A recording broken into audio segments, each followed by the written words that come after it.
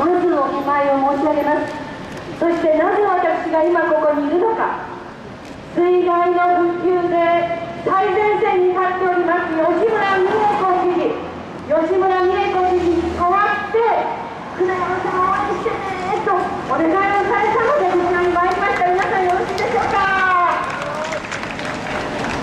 吉村美恵子知事とは全国で2人の女性知事として頑張っております女性の社会参画子育て何よりも農業地域を大事にする吉村美恵子知事とはお互いに決めて頑張っております。その吉村さんが推薦なさる船山さん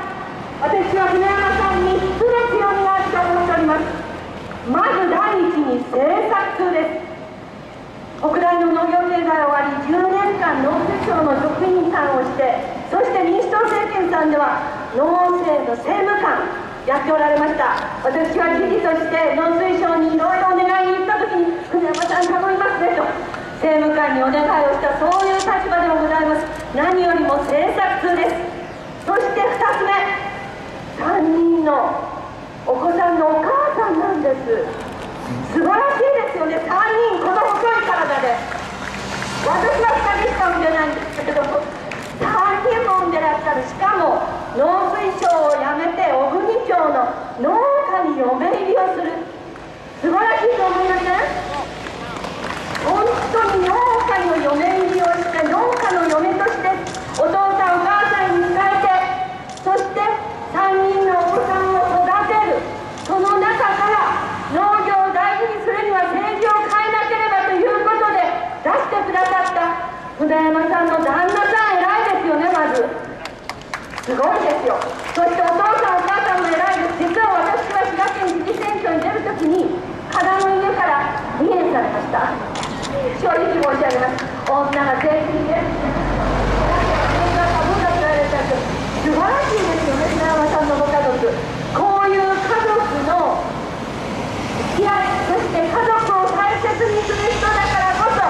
県民の皆さんお一人お一人の気持ちに寄り添ってお子さんから女性から農家時代に合わせて働く人たちに寄り添うことができるのが船山候補です皆さんご理解いただけるでしょうかそして3つ目の強み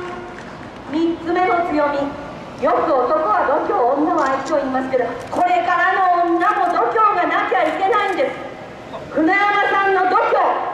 どうですか皆さん？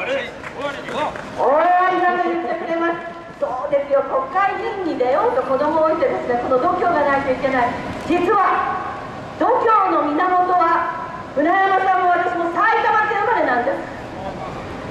埼玉県生まれで北海道に行って私は埼玉県生まれで東大の農学部一緒の農業経済やりました不思議な縁を感じているんですそして埼玉の女は強いどうですか？ねはい。強いです。優しい声ですけど強いんです。ということでこの度胸。政策通であり家族を大事にし子育て経験を政治に生かしてもらう。そして度胸があるこの船山さんこそ山形の皆さんの願いと思いを国政の中で届ける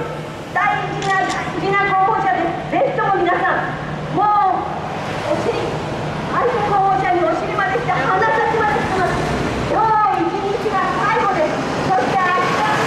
明日も午後8時投票箱が閉まるまで船山船山船山1人が10人10人が100人広げていってください。ぜひ山形から船山康さんを国会に送り出していただきたい。私滋賀県知事として朝5時起きにします5時起きそれだけの